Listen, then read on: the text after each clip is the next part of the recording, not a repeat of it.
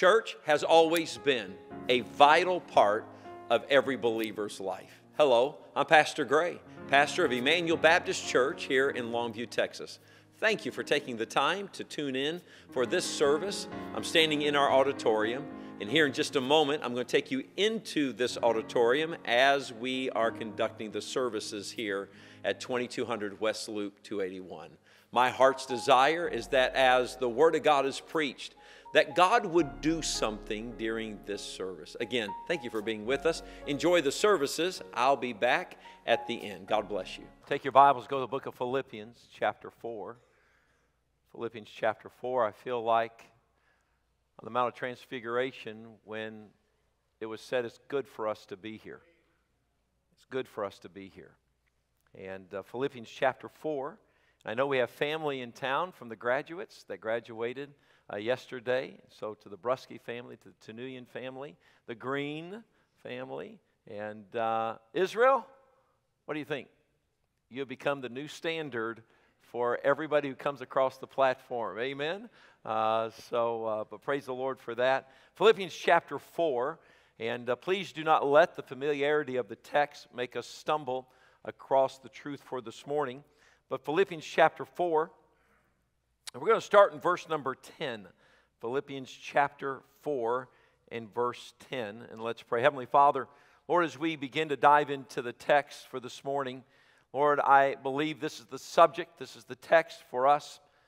And Lord, it was made even clearer in my spirit when I was listening to Miss Kelly sing.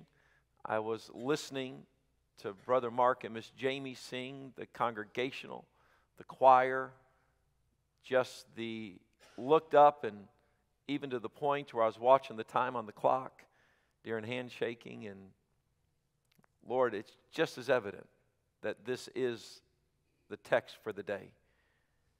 Lord, I ask that you would help us all as we look into your word and bring us back to where we need to be in our Christian life. And Lord, bless us on this day. In Jesus' name we pray. Amen. I love church, y'all. I, mm, I love the word. I love singing. I love church. Philippians 4:10. But I rejoice in the Lord greatly that now at the last your care of me hath flourished again, wherein ye were also careful, but ye lacked opportunity. Can we read verse number 11? Are you ready? Not that I speak in respect of want, for I have learned in whatsoever state I am, therewith to be content. I know how, both how to be abased, I know how to abound everywhere and in all things. I am instructed both to be full and to be hungry, both to abound and to suffer need. Verse 13, ready? Begin. I can do all things through Christ, which strengtheneth me. Notwithstanding, ye have well done, that ye did communicate with my affliction. Verse 15, ready?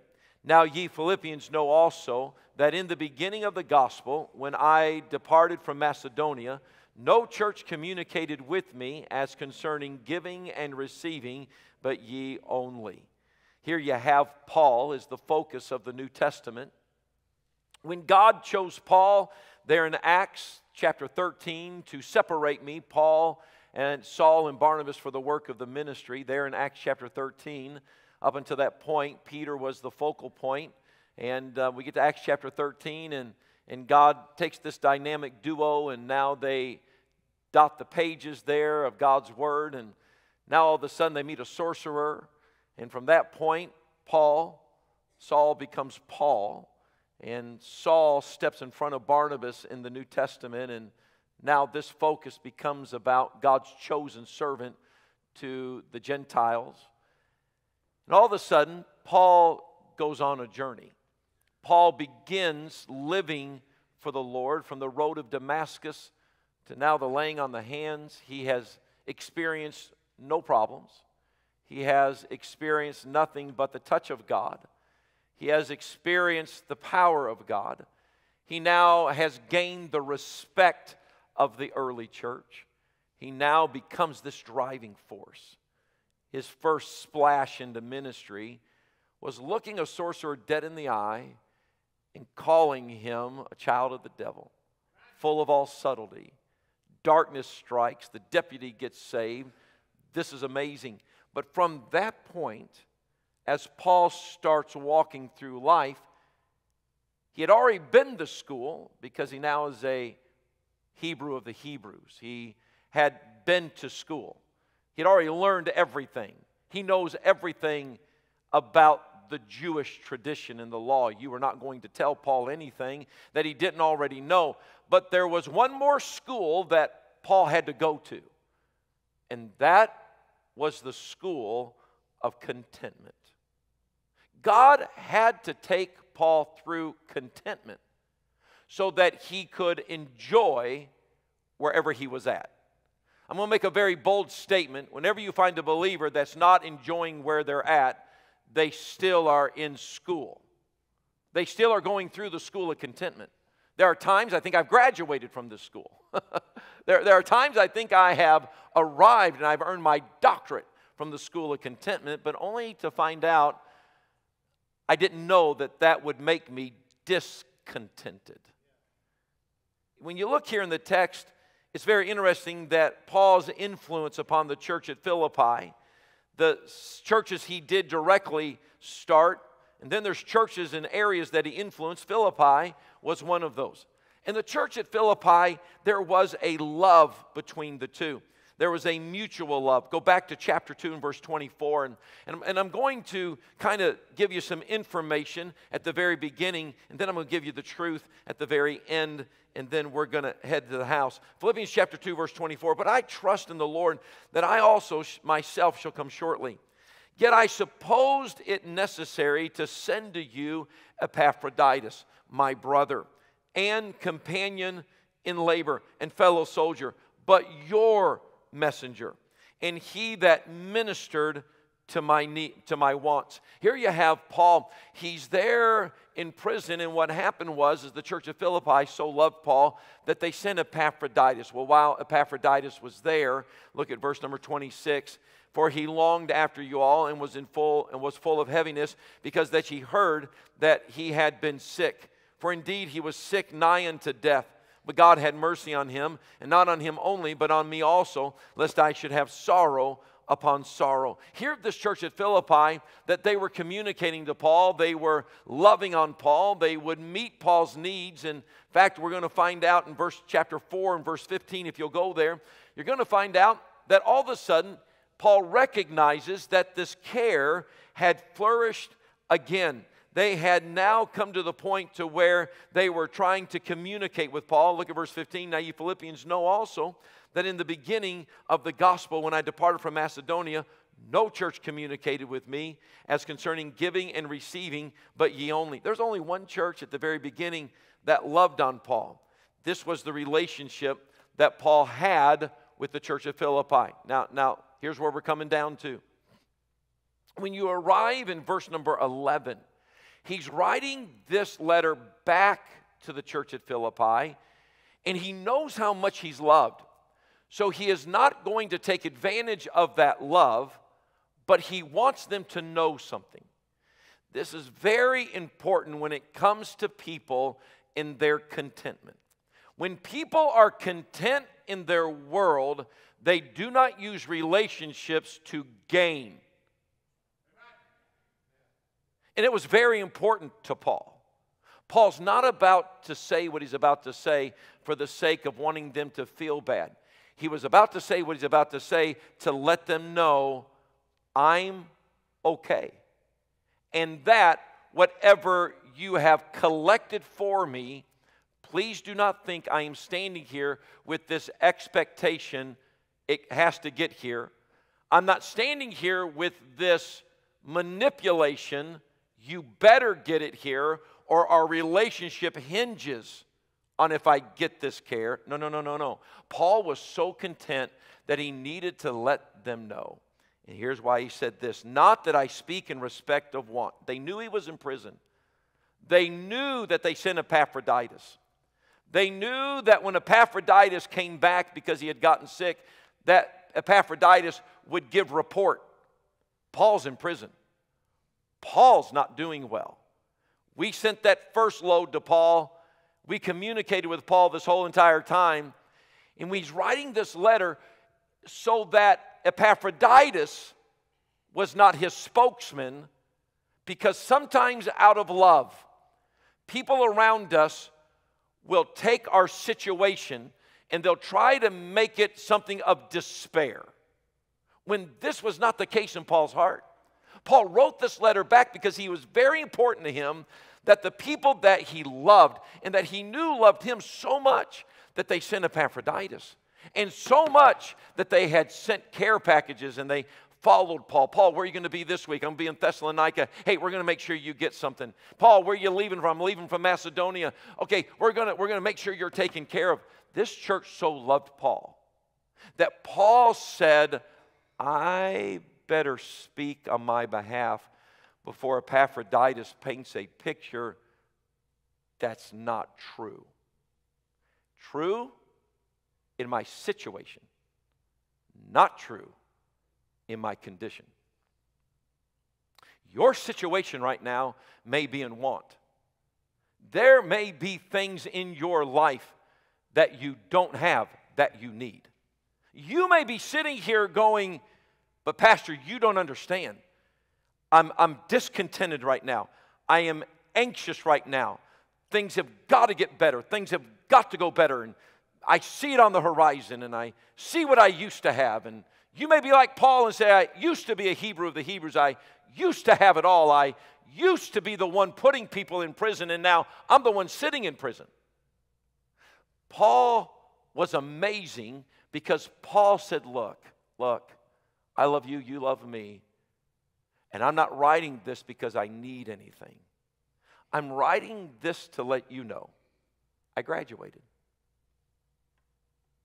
Because look what he says here in, in, in verse number 11. Not that I speak in respect of want, for I have what, please? Learned. You know what Paul said? I had to go to school and I had to learn some things. But the biggest thing I learned was this no matter what my circumstance, I can still be content. There are people who are not enjoying church right now because they're discontented. There are husbands not enjoying marriages right now because they're discontented. There are children that are not enjoying family because there's teenagers that are discontented and something's wrong. Paul said this, not that I speak in respect of want, for I have learned whatever state I am, therewith to be content. Go to 2 Corinthians chapter 11. Paul had to learn contentment. Life had to teach Paul contentment. It's not all going to be roses, but you can be content. It's going to be some thorns, but you can be content. You're not going to have that much money in the bank account, but you can be content. You can have all the money in the bank account, and you can be content. Your contentment and my contentment is not based on how much we have or how much we don't have. It should not be based on the mountain we're on or the valley we're in. Look what he said here 2 Corinthians 11 23. Are they ministers of Christ? I speak as a fool. 2 Corinthians 11 23. I am more, in labors more abundant, in stripes above measure, in prisons more frequent, in deaths oft. Of the Jews, five times received I 40 stripes, save one. Thrice was I beaten with rods. Once, you think you're having a bad day. Once I was stoned.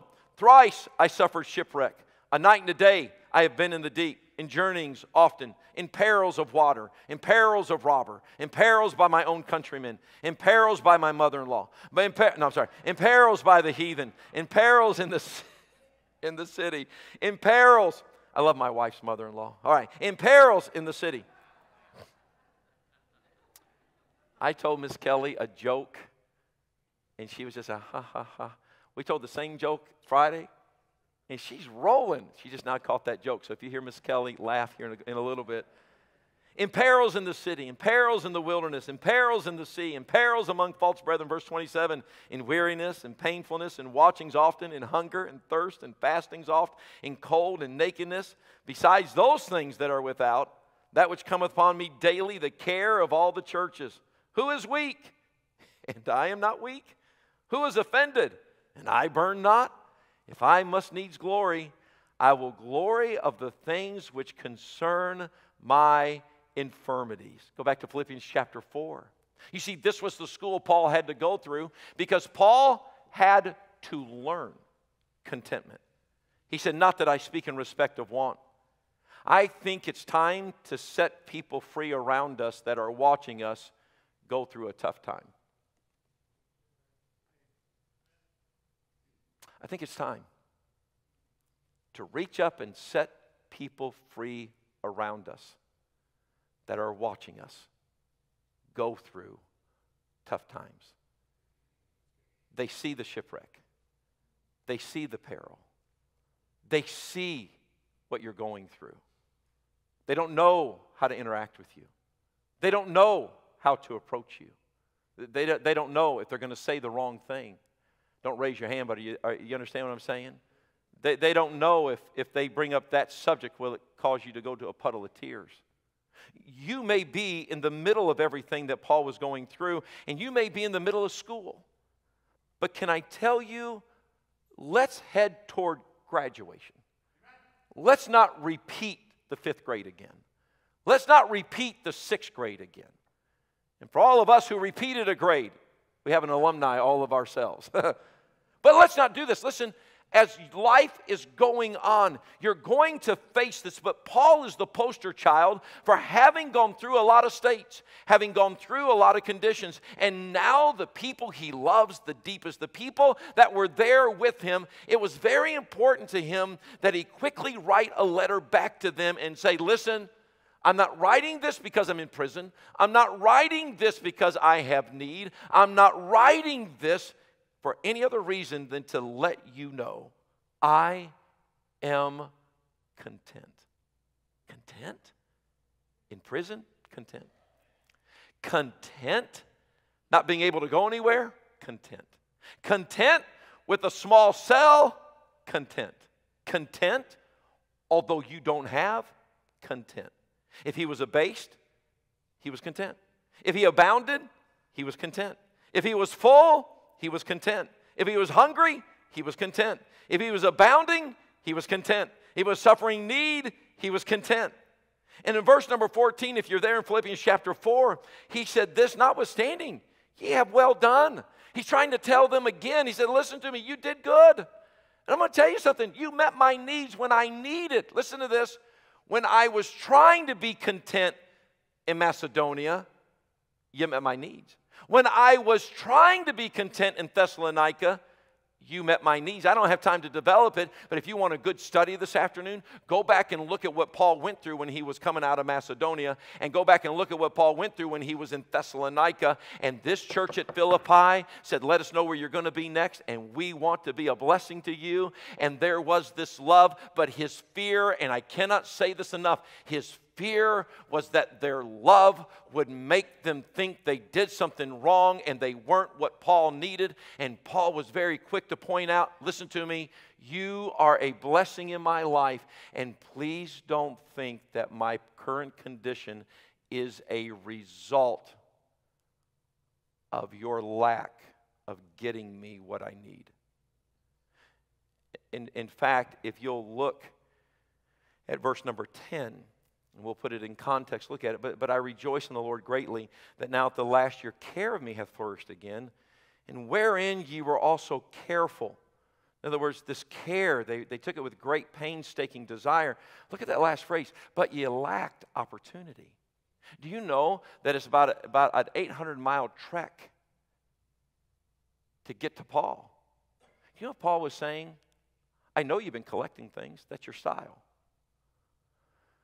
But as I sit here right now and I look at what is coming my way, I want you to know I'm okay until it gets here.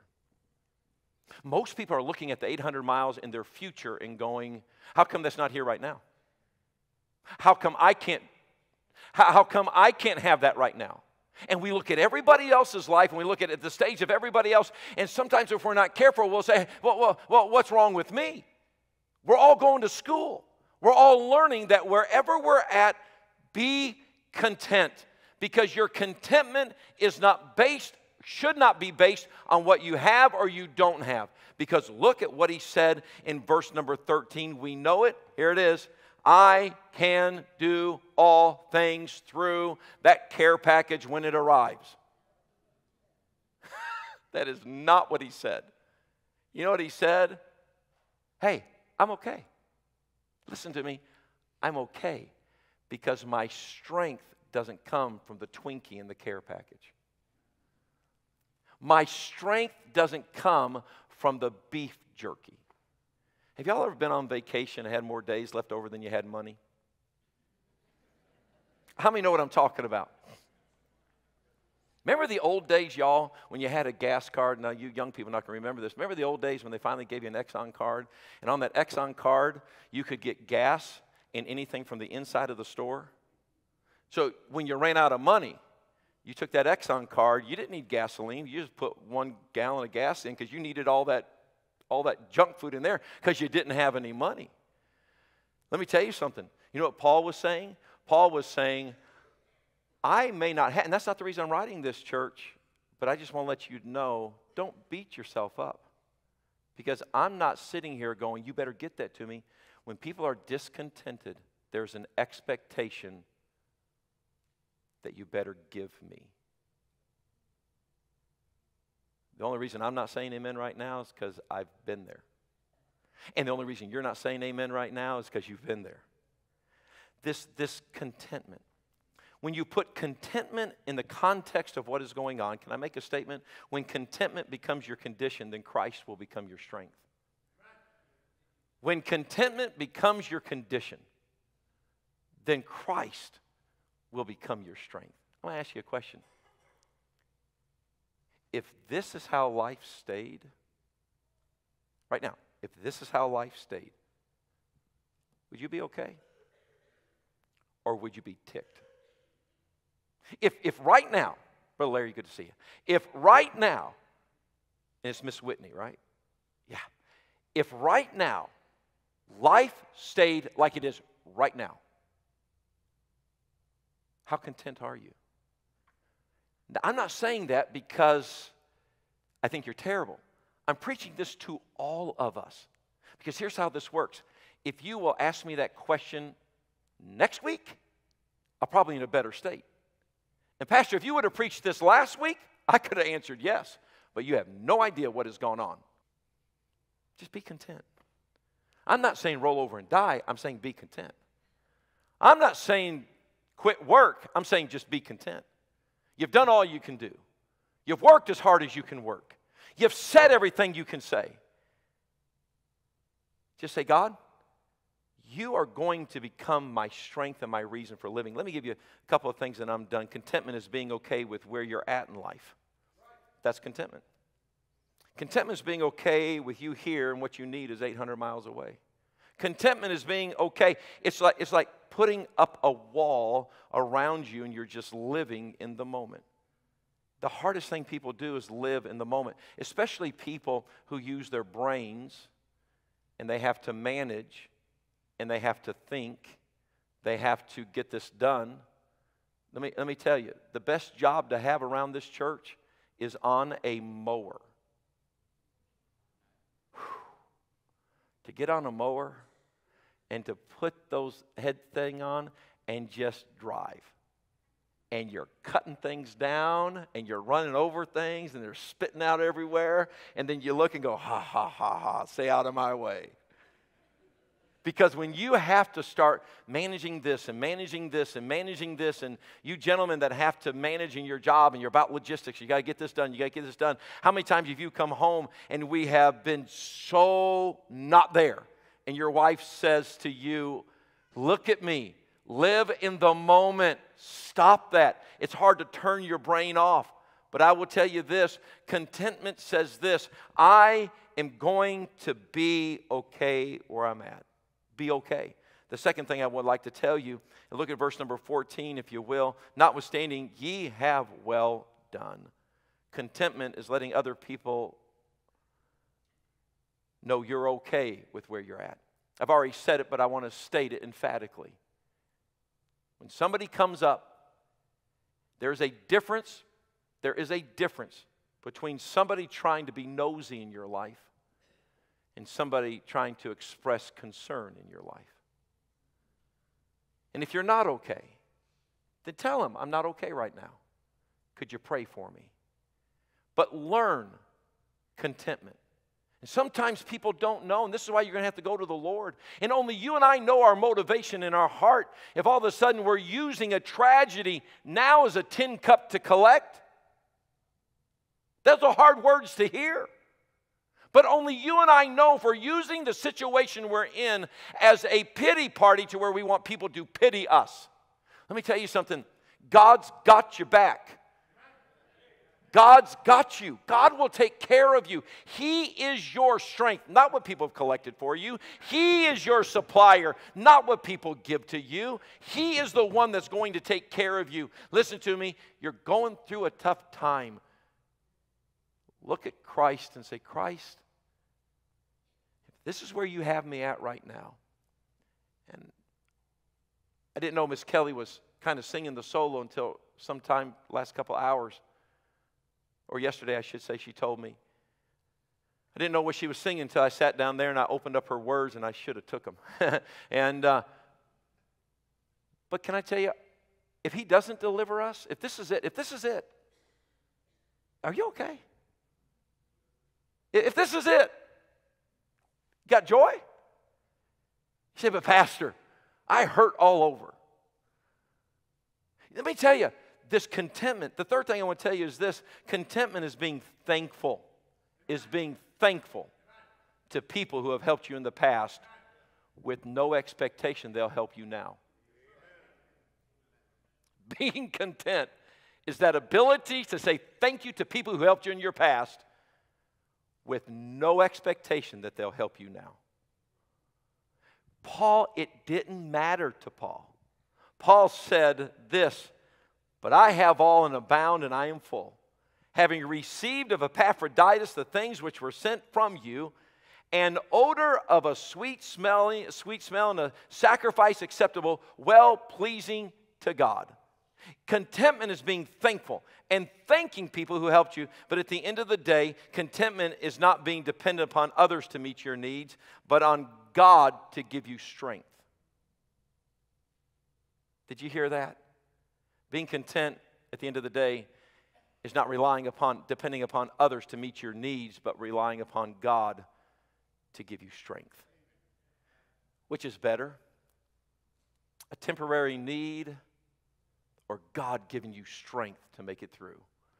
Because your needs can be met, but only one can give you strength.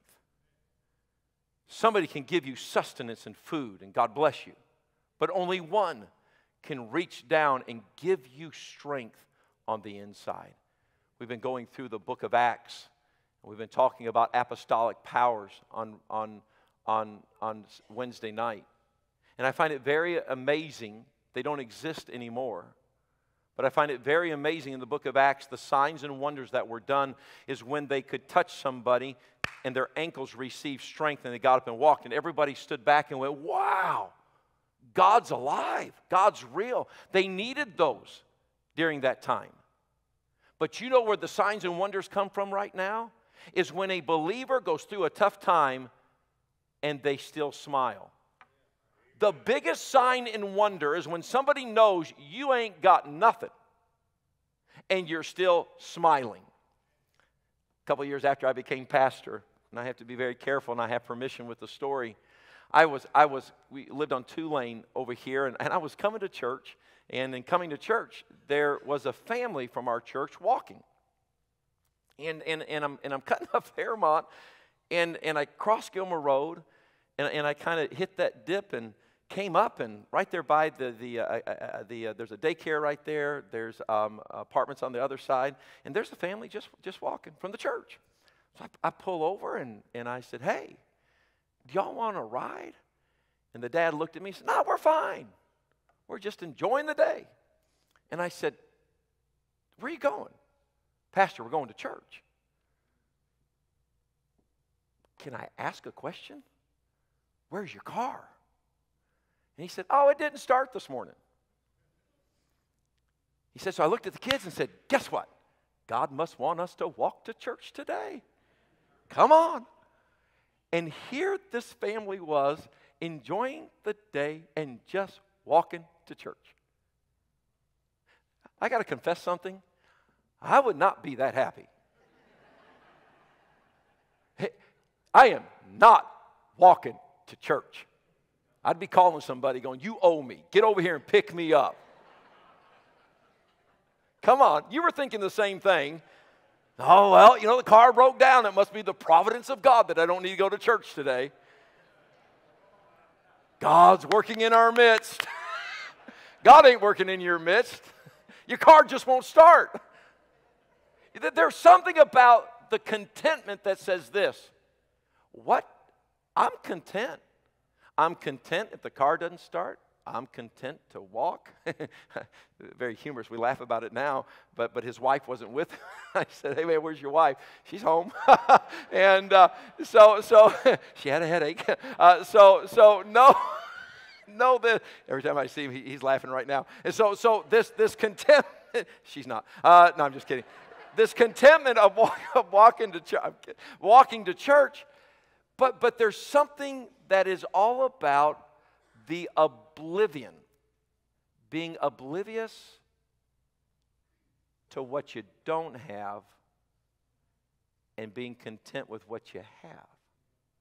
Remember the, the old saying, you didn't know how poor you were until somebody told you? Life was content until social media happened. Oh, come on now. We were good until we found out you got what for lunch? Like, who gets fried chicken for lunch? I got a bologna sandwich. But I got one bigger than that. Are you ready? Not only being content and being oblivious, but being content when you know what you need is sitting right down there. But saying this me having that or not having that has no bearing on who I am right now. Because who I am right now is I am a child of God. And there are things that would meet my needs, yes. They would make me a much better person, I think, yes. But that's not where I get my strength from. I receive my strength from the Lord Jesus Christ. Some of us, including myself, we're still in school because we haven't learned it yet. Some days we think we passed it, the other days we get the test back and it's an F. And we're like, ah, I'll try it again. But make Christ your strength. If you're here today and life has just turned you upside down and you can't find that strength, then it just may be you need a Savior. It just may be that you have no well to go to. Say, Pastor, I've tried everything. I, have tried 12 steps. I've tried turning over a new leaf. I have tried everything. Then the only thing left to do is Christ. And sometimes life will take away all your resources to where you have nothing. You may have everything material wise, but on the inside, you just have nothing. You're empty and you're void. That void can be filled by Jesus Christ. And as you heard Brother Josiah say today, even at four years of age, someone can trust Christ. So, where you're at, where are you? And, dear believer, if you're not content, if life stayed this way right now, is your strength coming from what you have or don't have, or is Christ your strength? Thank you for taking the time to view our services. I trust that the sermon, the message, the truth was a blessing to you. My number's at the bottom of the screen. If I can do anything for you, or Emmanuel Baptist could be a blessing to you or yours, please reach out to me. Let me know. I also would like to know what God has done in your heart. I would love to rejoice with you. I would love to pray with you. I would love to add your prayer requests to our Wednesday night prayer bulletin. So if you want to, numbers at the bottom of the screen, text me, let me know. God bless you, and I trust that the Lord will bless your day. Join us again for another broadcast here at Emmanuel Baptist Church.